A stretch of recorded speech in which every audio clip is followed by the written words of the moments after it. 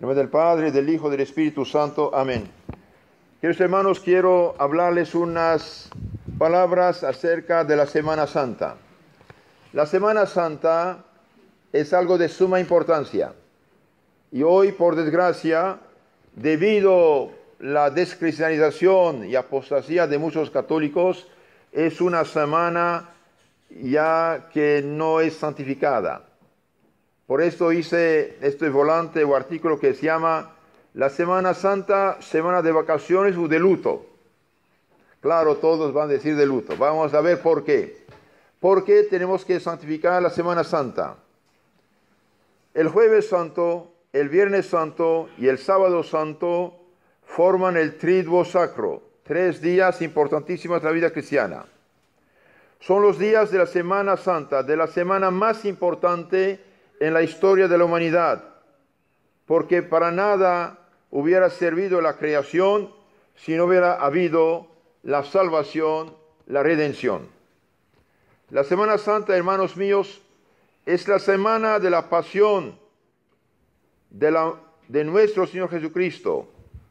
Pasión significa sufrimientos, muerte de Cristo en la cruz, pasión, redención, salvación, vida eterna, para nosotros están vinculadas. Sin los sufrimientos de Cristo, la cruz y muerte de Cristo, no hay salvación para nadie. El Salvador del mundo es Jesucristo.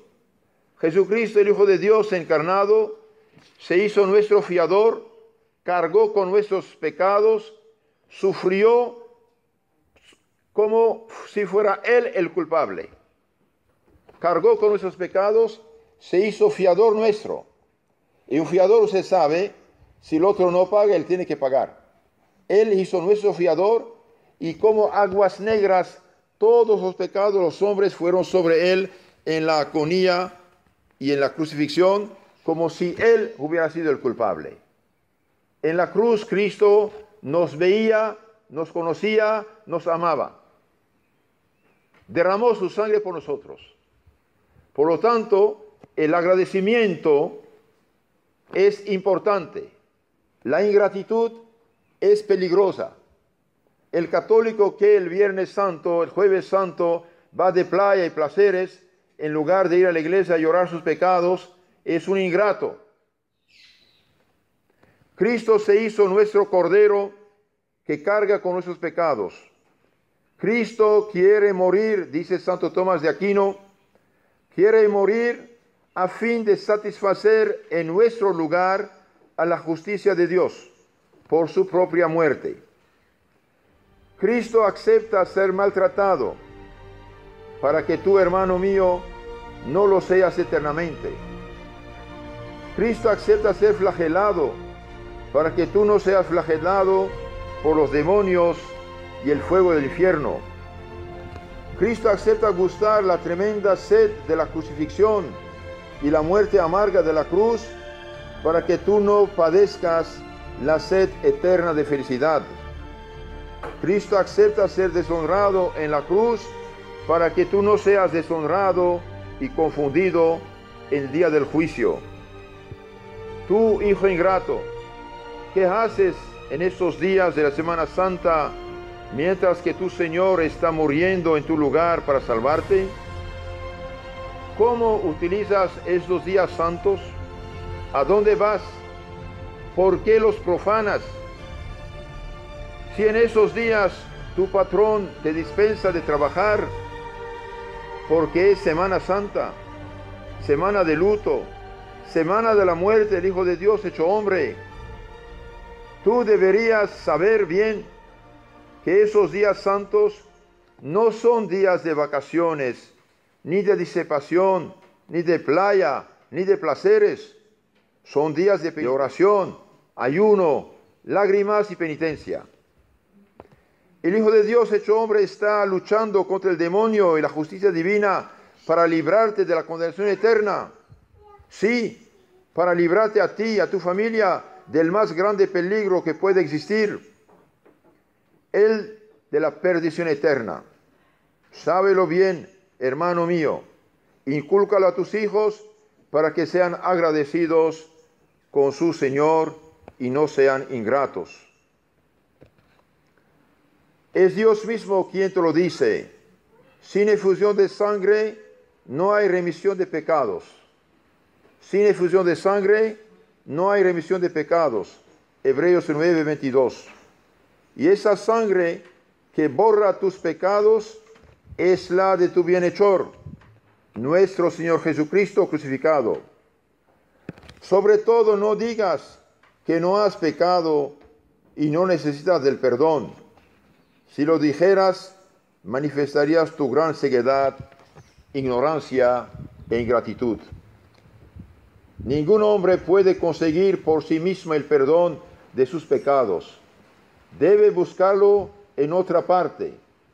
¿En dónde? En la sangre del Hijo de Dios que murió en la cruz el Viernes Santo. San Pablo dice, en Él, por su sangre tenemos la redención, el perdón de los pecados. En Él, en su sangre tenemos el perdón de los pecados. Efesios 1.7. El hombre no puede ofrecer sacrificio propiciatorio por sus pecados. Nuestro Señor Jesucristo se hizo propiciación por nosotros y por nuestros pecados. Él se ofrece el Viernes Santo en sacrificio propiciatorio por nosotros. Solo mediante la sangre de Cristo el hombre puede purificarse, puede librarse de las cadenas del pecado y de la tiranía del demonio. En estos días durante los cuales Cristo está en los, en los tormentos de la cruz para merecernos la salvación, nosotros hermanos no tenemos derecho a paseos, diversiones y quizás acumular pecados a los que ya tenemos. Debemos despertarnos, despertarnos de nuestro letargo. Debemos ser agradecidos con nuestro bienhechor Debemos actuar como católicos, no como paganos con nombre católico.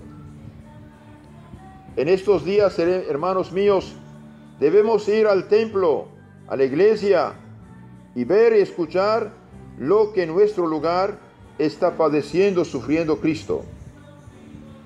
Debemos también saberlo, que la ingratitud atrae el castigo de Dios más bien que su misericordia. La, gratitud cristiana consagra el Triduo Santo para conocer más lo que hizo nuestro Señor Jesucristo por nosotros e impulsarnos a la penitencia, a la sincera conversión, a enmienda de nuestra vida tibia y mediocre. ¿Qué es el jueves santo? El jueves santo es el día en que el Señor Jesús antes de ir a su pasión, nos dejó el memorial de su muerte. Para aplicar los frutos de su pasión a tu alma, hermano mío, instituyó el sacramento de, su amor, que es la divina Eucaristía, y el sacerdocio para consagrarla. Él dijo, haced esto en memoria mía, para recordarnos lo que padeció por puro amor hacia los ingratos que somos para comunicar a nuestras almas la santidad y el remedio contra el pecado mediante la digna recepción de su cuerpo santísimo. Hermano mío, en ese jueves santo, ¿tú irías a divertirte en playas y placeres? ¿No sabes que Cristo dijo, el que come mi carne, bebe mi sangre, tiene la vida eterna y yo lo resucitaré el último día? porque mi carne es verdadera comida y mi sangre verdadera bebida. El que come mi carne y bebe mi sangre está en mí y yo en él. San Juan 6, 54, 56. Y tú, hermano mío, que pretendes ser discípulo de Cristo, ¿por qué te privas del pan celestial que sana, purifica, santifica, pacifica tu alma y tu hogar? Si por tu culpa no aprovechas el remedio que Cristo te ofrece ¿Por qué te quejas de tener problemas en tu vida, familia y trabajo? Viernes Santo. El Viernes Santo es para que grites con y en la iglesia misericordia para ti mismo y para todo el género humano. El Viernes Santo es para que participes en las exequias, sepultura, funerales de Cristo, escuchando el Evangelio de la Pasión y las siete palabras que son las últimas recomendaciones de Cristo nuestro Señor. Aprovecha el Viernes Santo para confesar con lágrimas tus pecados, lavar tu alma de la lepra del pecado con la sangre de Cristo, participar en la pasión de tu Salvador para tener parte con Él en la victoria. El Viernes Santo sufrió Cristo para merecerte el ser libertado del pecado, que es el más horrible cáncer que puede existir. Cristo murió el Viernes Santo para librar del infierno, que es la más grande de las desgracias. Y tú, hermano mío, irías de vacaciones con tantos otros neopaganos, quizás para matarte en el camino de la ingratitud? El Viernes Santo es para que hagas el Vía Crucis, medites lo que hizo y padeció por ti tu Señor, para darte cuenta de lo que merece el pecado. Lea los últimos capítulos de San Mateo, San Marcos, San Lucas y San Juan. O vea la película de Mel Gibson que habla de la pasión de Cristo. O lea el libro La historia de la pasión de Cristo del padre Luis de la Palma. Piénsalo bien, medite todo esto para darte cuenta del precio que Cristo pagó para librarte del poder del pecado y del demonio, hacerte hijo de Dios, heredero de la vida eterna. Puedes también leer y meditar, reflexionar sobre la pasión de Cristo, leyendo los libros que hablan de la pasión de Cristo. Por ejemplo, la pasión de Cristo de Fray Luis de Granada, las siete palabras de Cristo del Padre Rollo Marín, etc. El Viernes Santo, hermano mío, es día de ayuno y penitencia, silencio y lágrimas, y no día de playa y placeres. ¿Quién iría a la playa teniendo su padre, su madre o su hijo difunto?